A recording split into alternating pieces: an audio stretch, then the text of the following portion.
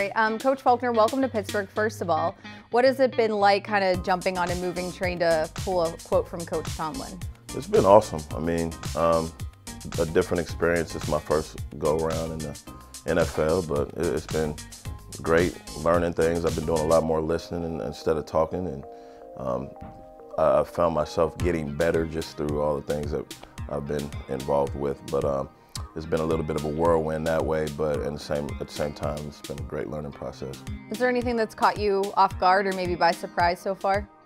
Um, no, not particularly. I mean, the one comment that uh, there's always made is you talk about the difference between all the hours spent recruiting in college versus not necessarily that being the case on this level. That's probably like the biggest change. It's something you get used to. But other than that, I mean, you know, it's football. Um, and, and really at this point, it's just about me learning exactly how things are done and how we do things offensively and going from there. Last month, I had a, a, chance to talk to Coach Tomlin about the changes on the coaching staff, and when it came to you, he said you were always on the Steelers' radar, but the drafting of Jaylen Samuels really helped develop that relationship. Can you take us through how it did develop? Well, um, I've, I've, come for the past, you know, several years to OTAs out at practice, and just I grew up a Steelers fan, believe it or not um, and just wanted to watch how things were done. I've always had a lot of admiration for uh, the way Coach Tomlin goes about his business. Randy Fichtner recruited me out of uh, high school at, when he was at Purdue. Um, so that relationship goes back 20 some odd years. But generally, it was just trying to get better, professional development, get better at football. Um, and then, you know, through time, I developed a relationship, I think a, a, professional relationship in, in terms of the football aspect. And then I think when Jaylen got here and, and played well, I think that maybe was part of the you know icing on the cake where they were like, okay, he was well prepared for this. Maybe he's a guy who would fit good in our organization. So I'm, I'm excited about the opportunity and excited about coaching all these guys, and it's going to be fun.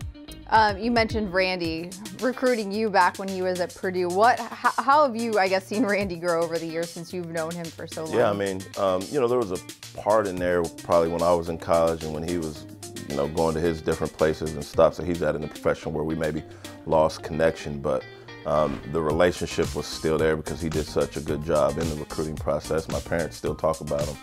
Um, and then, you know, once it got to a professional level where I was actually coaching as well, um, just from there, you, you saw his growth and obviously him ascend to where he's at now. So that's been, um, that's been fun to see, um, you know, just because it goes back that far. But, but ultimately, you know, um, he's an unbelievable guy to work for and be around, and, and he was that same way during the recruiting process 20 some odd years ago. All right, explain to me how you're a Steelers fan. Um, I just like the Steelers. You know I mean? I grew up in Muncie, Indiana, which essentially you think that'd be the Colts. Um, and I would go to Colts games from time to time with my dad, but I just really liked the black and yellow and, and loved the style of play that they had. Um, and it was, it was something I kind of saw myself doing. You know, went on to play in the Big Ten, play at Wisconsin, which is a similar style of football in that time, and it's just something that I admire. I have to ask you about Jaylen Samuels. I'm sure you're not surprised what he was able to do coming on late in his rookie year, but what more can we expect from him as a player as he continues to grow and really has to make that big jump from year one to year two? I mean, I, I think what I think you can expect is him to give his all. I mean, that's kind of a generic answer, but it's the truth because I think he has good perspective after having a year in the NFL and what it's going to take for him to be the best he can be, and he wants to be a good football player. I, I, I joke with people and talk about his freshman year to his sophomore year at college was his biggest jump he made while he was there.